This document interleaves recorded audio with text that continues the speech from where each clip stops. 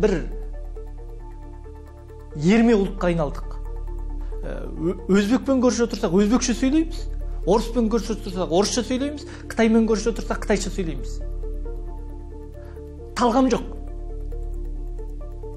Бағанағы өзіңді өзің сыйласаң жат жаннан түңілсін деп отырған қазақ өзін өзі сыйламайды. Егер өзін өзі сыйлаған болса 30 жылда мемлекеттік тілді өз орнына қондыратын еді. Тіпті мемлекеттік тілді біз өз өзімізді сыйламауымыздың кесірінен мемлекеттік тілді мемлекет түгіл мектебімізде орната алмадық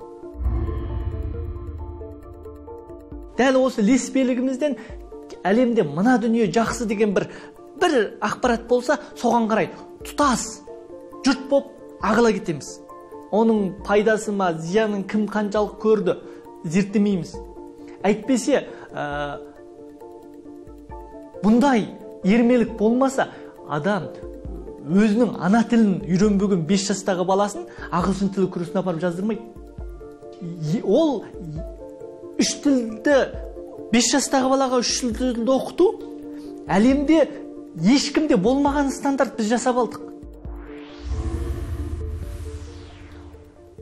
Неге? Біз бір әлемде ойбай ғылым тілі орыс тілі болды деді кезінде орыс тіліне қылды? Көшті. Енді ғылым тілі ағылшын деп еді ойбай біз ағылшын.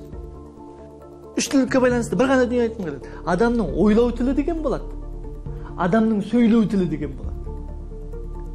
Адамның ойлау тілі тілін ешкім өзгертуге қақысы жоқ. Ол өзінің ана тілінде қалыптасу керек. Егер адамның ойлау тілі қалыптаспаса ол дүбәра болады. Біз баланың ойлау тіліне шапқыншылық жасап жатырмыз? Өзінің ойлау тілі қалыптаспаған кезде оған апарып екінші үшінші тілдерді тықпалап жатырмыз. Ол қылмыс.